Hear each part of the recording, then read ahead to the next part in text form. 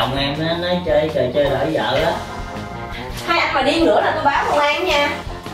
Ờ, nó báo công an rồi.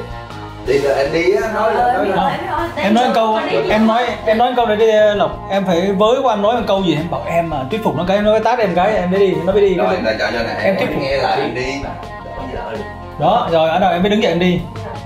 Biến thái hiểu không? Ờ, quay. em mới đi. Quay quay quay quay ừ. anh bị điên rồi. Tôi là vợ của anh á. Không có thì em vẫn là vợ của anh anh vẫn yêu em em hiểu không? Nhưng mà mình chỉ đổi một lần thôi. Biết đâu á, nó sẽ làm tăng cảm giác của em hơn. Với lại cái khả năng trên giường của em á, nó tuyệt vời lắm. Đúng á chồng em nói đúng á. Biết rồi em cải thiện được cái khả năng dùng chiếu nó hay hơn nữa. Hai anh đúng là biến thật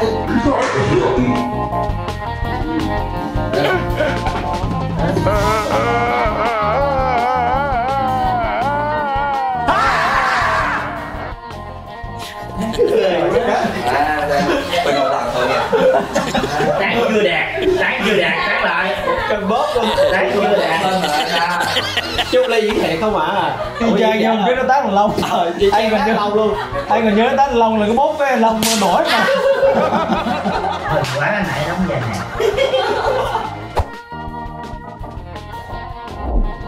máy chạy nè chị đừng đừng đây em tắm được quá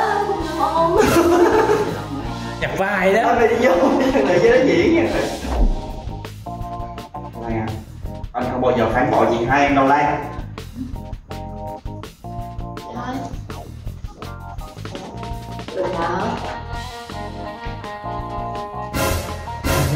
Trời ơi.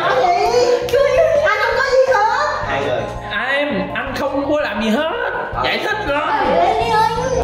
Nói rồi lan chuẩn bị cởi áo có bạn cởi áo áo rồi cởi ừ. Cái giả thôi. Cái giả thôi. Ừ. biết đâu. Các bạn sợ kẹo kéo nhẹ thôi. Kéo kéo bên đây đâu kéo rồi kéo thử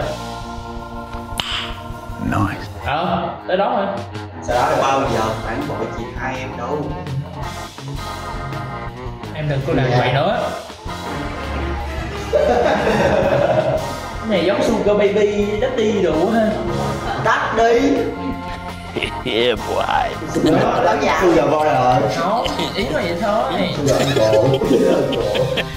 anh bộ